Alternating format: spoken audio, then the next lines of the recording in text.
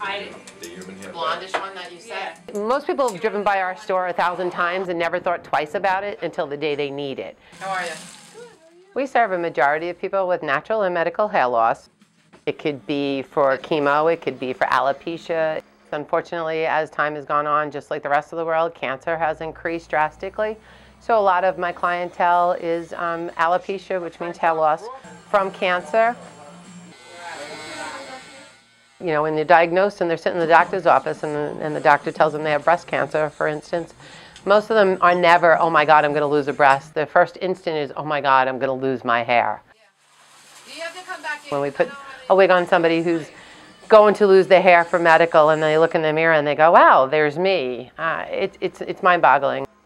I felt like a freak when I first came here. They afforded me privacy in the little booth, and there were boxes of tissues everywhere. Okay.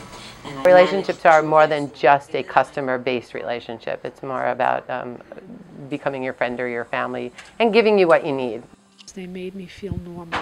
I forgot while I was here that I was bald, and I still do to this day. And they have become like my second family.